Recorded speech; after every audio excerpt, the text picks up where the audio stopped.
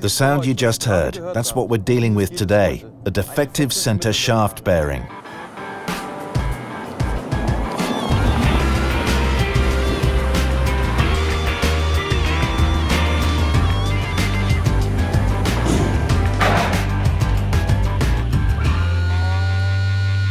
Hello, welcome to the MEYLE Mechanics.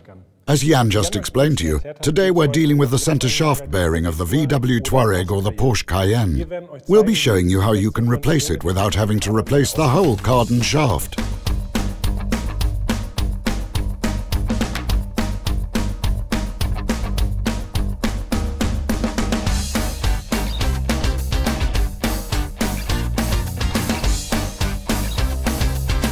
Normally you'd have to replace the complete cardan shaft, even though only the center shaft bearing is defective. The reason is that the center shaft bearing is not available individually from OE manufacturers. And so today we'll be using the MEYLE kit to show you how to replace the center shaft bearing without having to replace the entire cardan shaft.